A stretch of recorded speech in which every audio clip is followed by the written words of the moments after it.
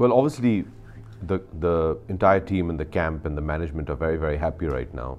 It's always good when you're coming off back to back wins. Uh, there's a positivity in the camp, which is very good.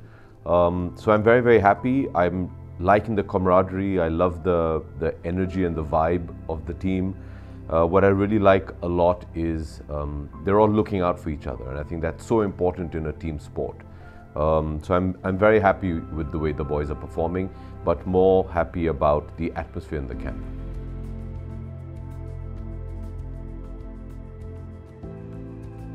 The first match didn't go our way, very close, came down to the last raid.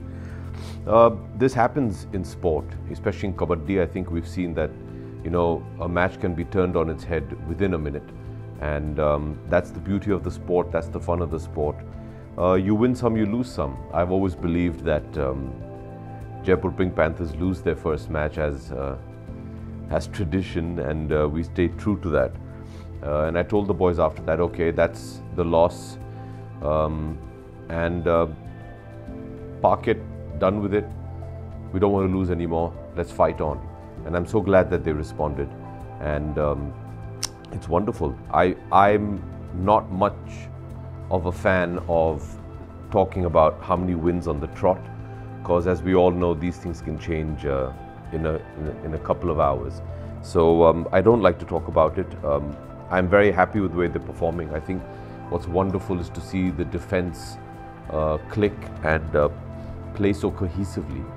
And um, I'm happy about that. But I still think there's a lot of room for improvement. Uh, I have very, very high expectations of this team. Um, and to be very honest, um, and not to be too harsh, but I think they're only playing at about um, about 60 to 70 percent of their potential. There's still room for improvement. We can do even better. We will do even better. And what's really good is that the boys uh, think the same thing. So it's very important not to be complacent, and it's important to keep your focus. And that's what I keep telling them: focus.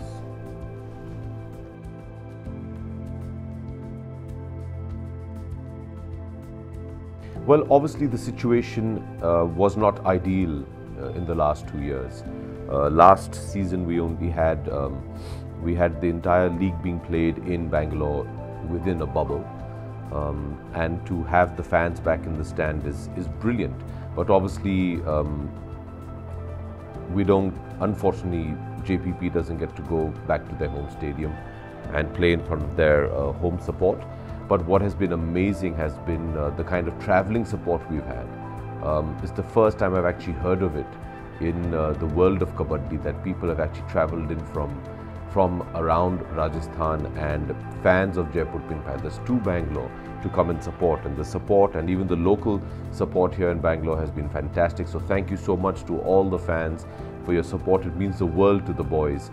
And you know, it's the fans that pick up the team when they're having a tough time and um, really help them through to the finish line. And I'm so happy and proud of Jaipur Pink Panther fans for doing that always to the team.